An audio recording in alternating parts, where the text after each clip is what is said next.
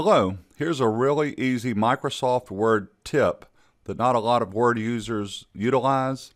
I have a six page annual report. It doesn't matter whether it's an annual report, what type of document it is.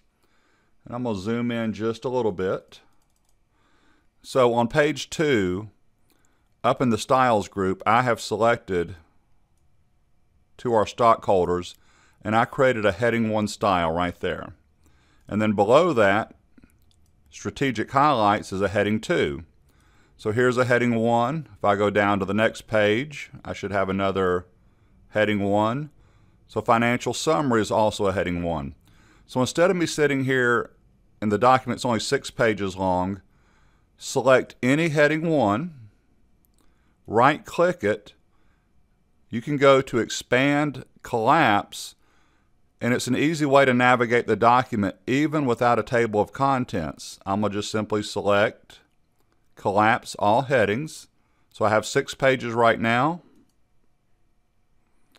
There are all my heading ones right here listed and everything is collapse. So if I want to read about financial statements, I'm assuming I'm going to see a P&L in here or income statement and cash flow.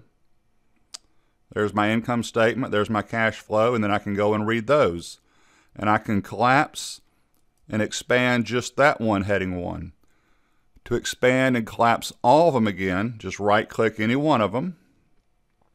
Expand, collapse, collapse, sorry, expand all headings. And I should go back to six pages. So there's a little tip for you. Feel free to subscribe to my YouTube channel and also subscribe on my website, which I'll put a link down below so you'll know about upcoming webinars.